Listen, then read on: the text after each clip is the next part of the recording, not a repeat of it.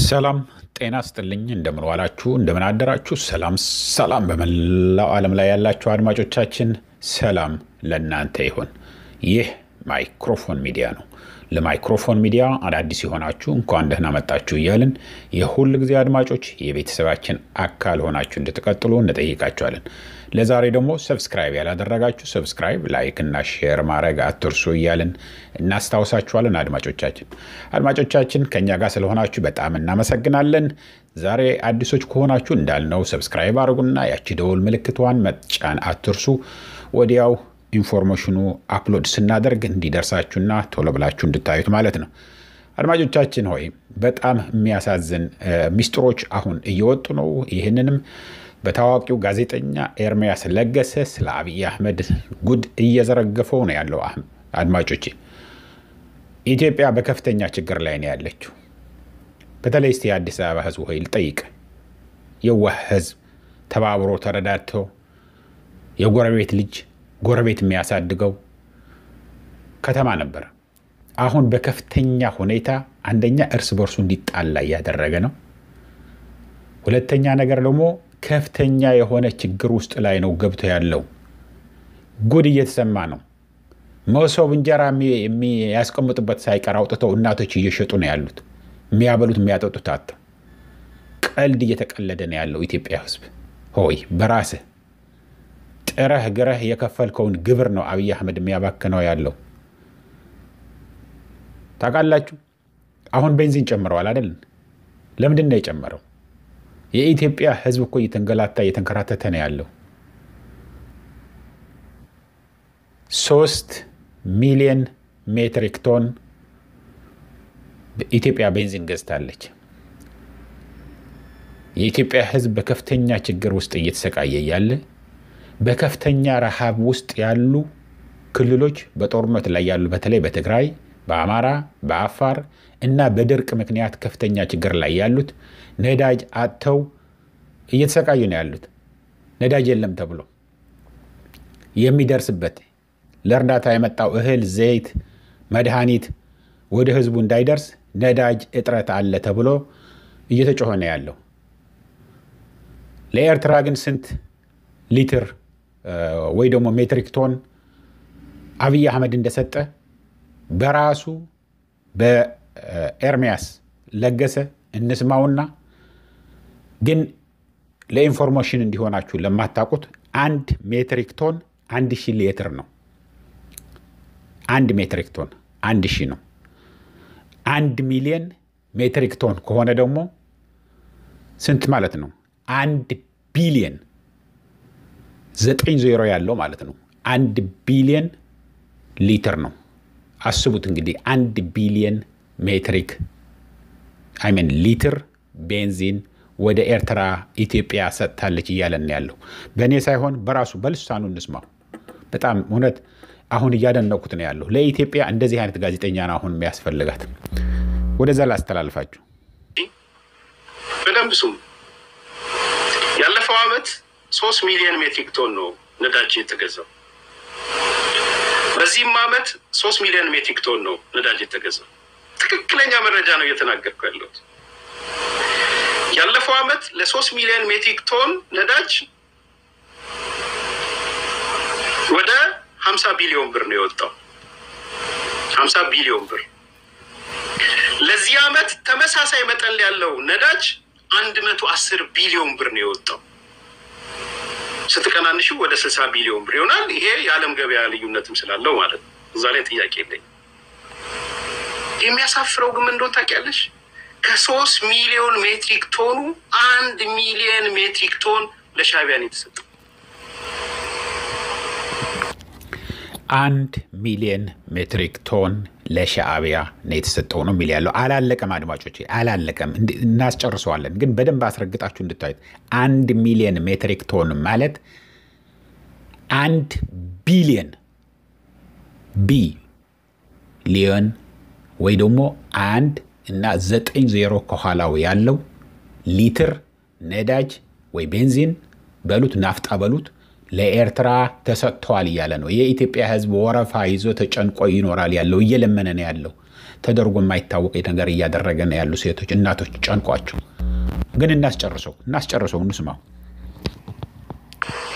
አንድ ሚሊዮን ሜትሪክ ቶን ትላንትና ነዳጅ ጨመረ። ህዝብ መግደል ብቻ አይደለም፣ በኢኮኖሚ ማራቆትም ነው እየተሰራ ያለው።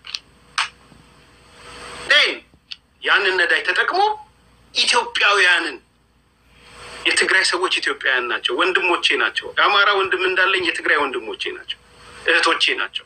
የኦሮሞ ወንድሞቼ ናቸው፣ እህቶቼ ናቸው። እኔ ልዩነት የለኝም። በትግራይ፣ በአማራ፣ በኦሮሞ፣ በወላይታ፣ በሲዳማ ኢትዮጵያዊ ማዕቀፍ ውስጥ ነው የማስባቸው።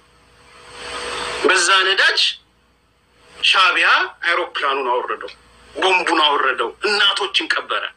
ይሄ ነው እውነቱ። ቢመረንም እውነቱ ይሄ ነው። ለዚህ ባልቆም ህሊናዬ ለዚህ ጉዳይ ባልቆም politicize ላደረገው ብሞክር ህሊናዬ አያርፍም። እንግዲህ አድማጮቼ ራሳችሁ ፍረዱ፣ ራሳችሁ ፍረዱ። በተለይ በተለይ ደግሞ የአዲስ አበባ ህዝብ ዝም ብለህ ተኝተህ እየተራብክ ያለኸው ከፍተኛ ችግር ላይ ያለኸው በሁሉም angle ሁሉንም ነገር ሰማይ ላይ ወጥቶ ዳቦ የማይገኝበት ከተማ ነው ሆኖ ያለው የተትረፈረፈ የነበረ የዛሬ አራት ዓመት የነበረውን እዛ አዲስ አበባ ነበርኩ እኔ። እንዴት እንደነበረ ራሳችን እናውቀዋለን። የኢትዮጵያ ህዝብ መኪና ነው ወይ የሚበላው? ይህ ሁሉ መኪና ለምንድን ነው ወደ ኢትዮጵያ የሚገባው እስኪባል ድረስ ነው የነበረው። እያንዳንዱ ቪትስም ይሁን ያሪስም ይሁን ሁሉም አይነት ከ luxury ላንድ ክሩዘር እስከ ኮብራውም ትንሹ እስከ ቪትስዋም ድረስ እንደ አቅሙ ሰው ገዝቶ መኖር ጀምሮ ነበር። ሶስት ጊዜ አራት ጊዜ ይበላ ነበር። ይህ ሀቅ እንነጋገር፣ ሀቁን መናገር ጥሩ ነው። አሁን የኢትዮጵያ ህዝብ ከፍተኛ ችግር ላይ እያለ የኢትዮጵያን ህዝብ ለማስገደል አንድ ቢሊዮን ሊትር ቤንዚን ለኤርትራ ሰጥተዋል። አዲስ አበባ ኢትዮጵያ ውስጥ ግን ቤንዚን ዋጋ ጨምረዋል። ይሄ ፍርድ ነው? ይሄ ፍትህ ነው? ለዚህ ነው አሁን እኔ ኤርሚያስ ለገሰና እኔ አስተሳሰባችን የፖለቲካ አመለካከታችን የተለያየ ሊሆን ይችላል። ሰው ግን ሀቅ ሲናገር በትክክል ወጥተን እኔ አሁን promotion እየሰጡ platform እየሰጠሁት ነው ያለሁት። ግን ጥሩ ነገር ለሰራ ጥሩ የሚናገር ከሆነ እኔ እዚህ ማይክሮፎን ሚዲያ መጥቶ የፈለገውንም ቢናገር አሁን በያዘው አቋም ከሄደ ደስ ይለኛል። ይህንን ነው የምንላቸው ያለ ነው። ፖለቲካ አይደለም። ህዝብ ነው የሚሰቃይ ህዝብ ነው በረሃብና በቸነፈር ውስጥ ያለው፣ በድርቅ እያለቀ ያለው፣ በጦርነት ውስጥ ያለው ተርቦ እያለቀ ያለው፣ ባንክ ውስጥ ያላቸው ገንዘብ ማስወጣት አቅቷቸው ተከልክለው በከፍተኛ ረሃብ ላይ ያሉ ራሳቸውን የሚያጠፉ ያሉት ትግራይ ውስጥ። ቋሚ የሆነ በሽታ ያላቸው እንደ ስኳር፣ ደም ብዛት፣ ኤች አይቪ ኤድስ ያላቸው መድኃኒት አጥተው ያውም ከአሜሪካ በእርዳታ የሚመጡ መድኃኒቶችን አናስገባም ብሎ በበሽታ እያለቀ ነው ያለው። ያለ ጊዜው እየሞተ ነው ያለው። ይህንን ትክክል አይደለም፣ ይህንን ነገር መቅረት አለበት የሚል ማንንም ይሁን ከኢትዮጵያም ይሁን ከውጭም ይሁን ብሔር ብሔረሰብ ሰማንያ አይነት ብሔር ብሔረሰብ አለ። ማንንም ይሁን ካለ ሀቅ የሚፈርድ ከሆነ ለተራበ ሶማሌ ውስጥ ያለውን ሰው መሄድ አለበት። ለምንድን ነው የማይሄድለት ካለ ለተራበ ትግራይ ውስጥ ያለውን ለምንድን ነው የማይሄድለት? መድኃኒት ለምንድን ነው የማይሄድለት የሚል ሰው ከተፈጠረ እኛ እናደንቃለን፣ እናመሰግናለን። ምክንያቱም ይሄ ፖለቲካ አይደለም። አብይ አህመድ የተትረፈረፈ ፍሪጅ ውስጥ አለው። ልጆቹ የፈለጉበትን አገር ሂደው ይማራሉ፣ ይኖራሉ። አዲስ አበባ ከሆኑም American school ሂደው international school ይማራሉ። አስር ሺህ ዶላር በወር እየከፈሉ የድሃው ልጅ ግን ትምህርትም ተነፍጎት የሚበላ የሚጠጣውን ነገር አጥቶ ከፍተኛ ችግር ላይ ነው ያለው። ሀገር ለማጥፋት እርስ በርስ ለመጋደል ግን አንድ ቢሊየን ሊትር ቤንዚን ለኤርትራ ይሰጣል። አራት አምስት ቢሊየን የአሜሪካ ዶላር በጥሬ ገንዘብ ለኤርትራ ይሰጣል። የኢትዮጵያ ወታደሮች ኤርትራ ውስጥ ገብተው እየሞቱ ነው ያሉት። በኤርትራ ወታደሮች እየተጨፈጨፉ ነው ያሉት። ሂዱ ወደፊት እየተባሉ ይህንን የምንፈልገው የኢትዮጵያ ሕዝብ ሆይ መቼ ነው አይሆንም፣ በቃ በቃ የሚለው መቼ ነው?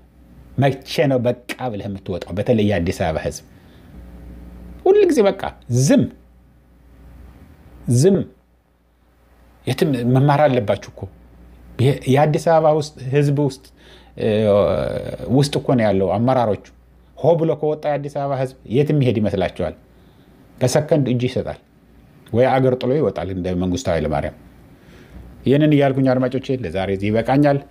በርታ ጠንክር እንለዋለን ኤርሚያስ ለገሰን። እንደዚህ ከሆነ እኛ ደግሞ እያወጣን ፕሮሞት እናደርገዋለን እናደርገዋለን። እውነቴን ነው የምነግራችሁ። ብዙ ሰው ለምንድን ነው እንደዚህ የምታደርገው የሚሉ አድማጮች ሊኖሩኝ ይችላሉ። ግን እኔ ጥሩ ነገር ለሰራ ሰው የፈለገ ተሳስቶ ይሆን ከዚህ በፊት ተሳስቼ ነበር፣ አሁን ግን ይሄንን ነው አቋሜ ካለ በዛ ቀጥልበት ነው የምለው። ለምን እንደዚህ ብለህ አልነበረም? እንዲህ እንደዚህ እኮ ብለህ ነበር በዚህ ጊዜ እንደዛ አለልም እኔ ተሳስቶ ካርሞ አሁን አስተካክሎ ከመጣ በቃ ተጸጽተዋል። ባለፈው ስራው ባለፈው ስራ ተጸጽተዋል። የተናገረው ታሪክ ነው እንጂ ሊመልሰው አይችልም። መልሶ ሊውጠው አይችልም። ያንን የተናገረውን ታሪክ ነው ይቀመጣል። እንደዚህ ብዬ እኮ ተሳስቼ ነበር ብሎ ራሱም ያፍርበታል። ሌላውም ይስቅ ይሆናል። አሁን የሚናገረው ግን ለእኛ ጠቃሚ ነው።